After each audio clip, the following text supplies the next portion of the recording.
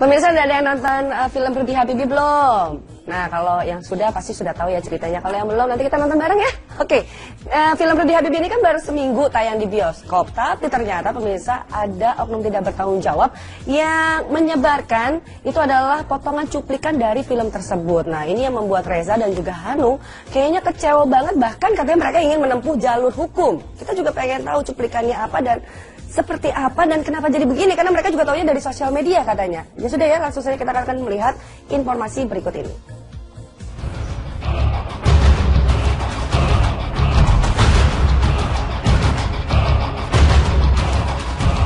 Sebagai seorang pekerja seni dan aktor, tentu apresiasi dari masyarakat menjadi nilai mahal dari sebuah karya yang dihasilkan. Namun baru-baru ini, para kru dan pemain film Rudy Habibie tengah merasakan kekecewaan. Bagaimana tidak, belum juga genap seminggu film tersebut tayang di bioskop, namun cuplikan tiap adegan sudah tersebar di media sosial dan mengalami pembajakan. Sebagai seorang aktor, bagi Reza hal ini merupakan salah satu masalah yang sangat serius. Ya kecewa aja sih sebenarnya, uh, tapi sebenarnya ini jadi peringatan buat kita semua karena bukan film Rudy Habibie aja kan yang terjadi pembajakan juga banyak. Apalagi sekarang mediumnya udah beda ya gitu. Kalau dulu mungkin kita bakal ngeliat DVD-DVD bajakan gitu. Itu aja udah susah sekali dikontrol. Sekarang ada medium yang jauh lebih mudah lagi uh, digital semua tinggal rekam semua orang bisa streaming cepat gitu. Ya saya rasa ini harusnya jadi concern semua stakeholders terutama dari dunia film ya. Antusias masyarakat akan film Rudy Habibie memang cukup besar. Maka tak heran bila banyak orang yang ingin menonton film tersebut. Di balik kesenangan melihat antusias para pecinta film yang cukup besar, sebagai seorang sutradara, Hanung Bramantyo juga mengaku sangat kecewa lantaran film garapannya sudah disebarluaskan oleh orang yang tidak bertanggung jawab. Terlebih hal itu ia ketahui pertama kali lewat akun media sosial pribadi miliknya.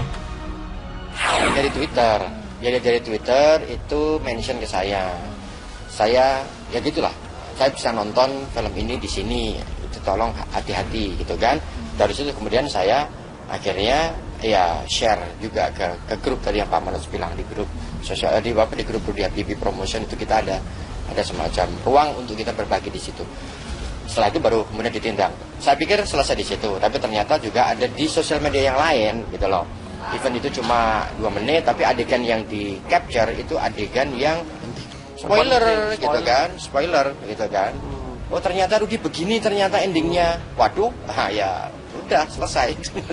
Gitu. Tapi saya yakin itu mereka karena apa ya euforia ya euforia ada ada ada aplikasi baru gitu kan? Hmm. yang bisa merambah sampai sebegitunya. Hmm. jadi mereka yang memanfaatkan itu. Dalam rangka memanfaatkan itu sebetulnya.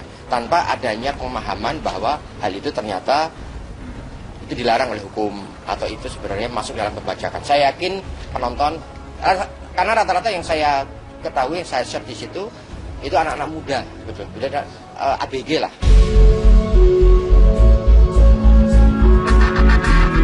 Kasus pembajakan yang terjadi di tanah air memang semakin meresahkan para pelaku seni. Maka tak heran jika kasus ini semakin meresahkan, baik Hanung dan Reza nampak siap bersikap tegas dengan membawa kasus ini ke ranah hukum. Kita nggak langsung ya dengan kayak gini terus tiba ngelapor langsung ke apa namanya ditindak secara hukum. Ini kan peringatan dulu, pemberitahuan sekaligus peringatan bahwa hal itu tidak boleh dilakukan gitu. Kalau masih terus berlanjut, ya tindakannya pasti lebih dari ini. Karena yang terjadi sebetulnya tidak untuk faktor ekonomi dan dibisniskan. Gitu kan. Lain halnya pada saat ayat cinta dulu kan belum tayang, ya kan. Saya udah ada kepingnya dan dijual di perempatan jalan. Ini ayo siapa yang mau nonton ayo dijual. Nah, itu baru kita akan bereaksi. Gitu kan. Ini kan semacam kayak dia mungkin lagi apa namanya excited. excited aja.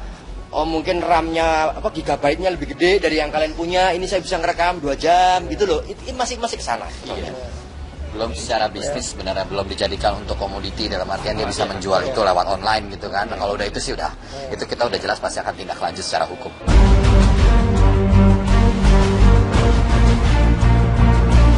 Tindakan pembajakan memang sudah ada sejak lama. Namun dengan perkembangan zaman dan semakin canggihnya teknologi, Reza sangat menyayangkan bila hal tersebut justru disalahgunakan. Reza pun banyak berharap dari masyarakat agar sadar bila aksi merekam dan memfoto film yang tengah tayang di bioskop merupakan sudah termasuk dari tindakan pembajakan. Dan sebenarnya sih untuk masyarakat secara umum juga saya yakin mungkin saja ada yang belum tahu bahwa sebenarnya uh, walaupun itu 30 detik, even 10 second aja itu sebenarnya secara tidak langsung itu udah sebuah bentuk pembajakan.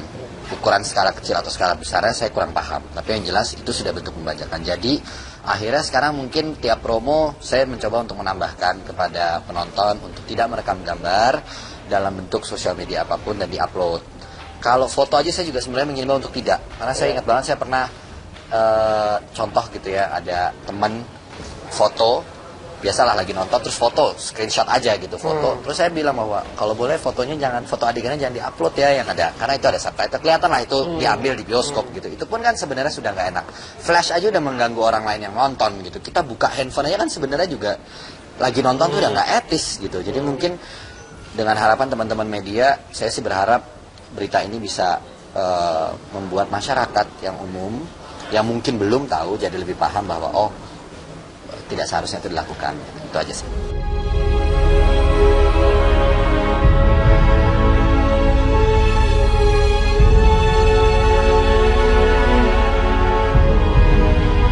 Kerana hukum.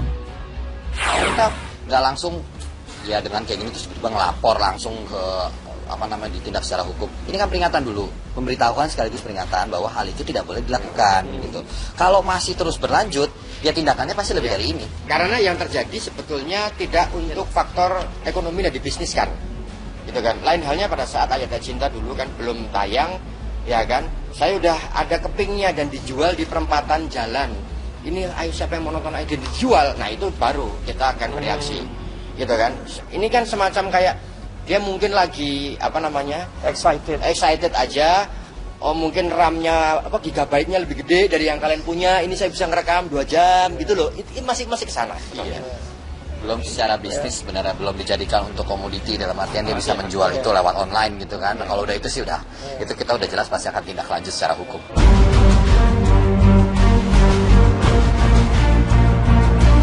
Tindakan pembajakan memang sudah ada sejak lama. Namun dengan perkembangan zaman dan semakin canggihnya teknologi, Reza sangat menyayangkan bila hal tersebut justru disalahgunakan.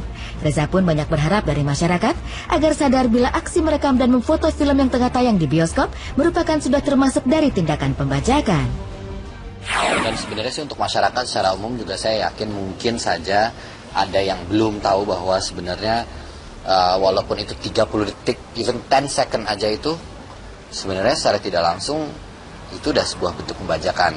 Ukuran skala kecil atau skala besarnya saya kurang paham tapi yang jelas itu sudah bentuk pembajakan. Jadi akhirnya sekarang mungkin tiap promo saya mencoba untuk menambahkan kepada penonton untuk tidak merekam gambar dalam bentuk sosial media apa pun dan diupload.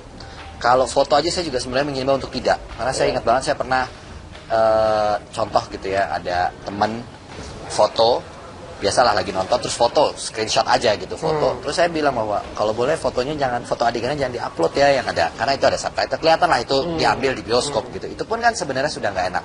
Flash aja udah mengganggu orang lain yang nonton gitu. Kita buka handphone aja kan sebenarnya juga lagi nonton tuh udah nggak etis gitu. Jadi mungkin dengan harapan teman-teman media saya sih berharap berita ini bisa eh, membuat masyarakat yang umum yang mungkin belum tahu jadi lebih paham bahwa oh tidak seharusnya itu dilakukan. Itu aja sih.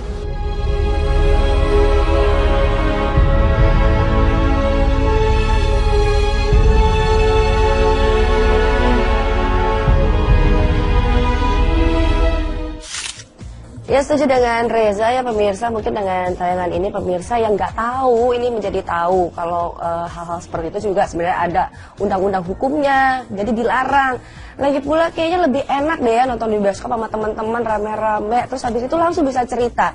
Dan yang terpenting adalah kita sebagai anak bangsa ini harus terus mendukung eh, karya-karya anak bangsa kita sendiri. Kalau bukan kita siapa lagi? Jadi jangan eh, namanya melakukan pembajakan dan juga mungkin upload-upload sesuatu juga yang mungkin akhirnya eh, meresahkan atau juga kayak merugikan orang lain. Oke? Baiklah, dan selanjutnya ini kita akan menjenguk Cikita Medi yang katanya sekarang ini sedang sakit. Informasinya saat lagi tetap di Insert Pagi.